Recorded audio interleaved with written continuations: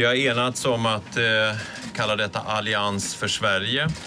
En eh, samverkan för maktskifte 2006.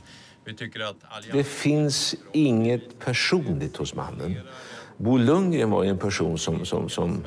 Jag tyckte inte om hans politik, men jag tyckte om honom för han var levande. Det gick att ta på honom.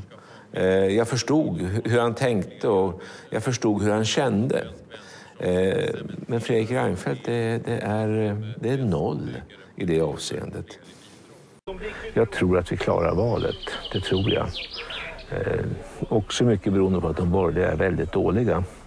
Eh, de får inte till det. Eh, och det beror på, tycker jag, att eh, de har en, det är en svag personuppsättning eh, med den kanske svagaste borgerliga politikern i spetsen, Fredrik Reinfeldt. En väldigt tunn politiker utan någon särskild erfarenhet utan har väl levt ett helt liv egentligen i politiska strider. Aldrig haft att ta ansvar för någonting i något sammanhang. Det är inte statsministerfähiga personer. Och det tror jag kommer att märkas vart efter tiden går. Jag tror att det talar till vår fördel. Tror jag. Fredrik, Lars, Maud och Göran. Stor applåd!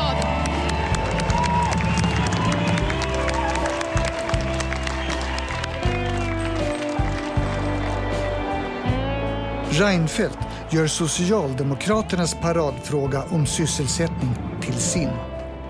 Alliansen stormar fram genom landet, men Persson tror fortfarande att vinden ska vända och kommer inte åt sin utmanare.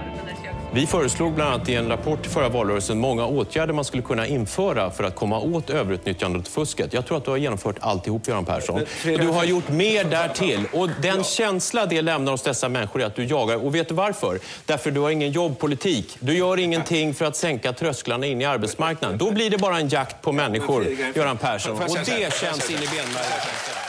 kallas ju vad jag förstår för tvålen internt därför att han har just egenheten att inte få gå att få grepp om därför att han, han glider så här. Och detta tycker du är otäckt? Jag tycker det är otäckt. Jag tycker politik måste bygga på ett engagemang. Det måste finnas en människa, det måste finnas nerv, det måste finnas, måste finnas värme. Jag saknar allt hos honom.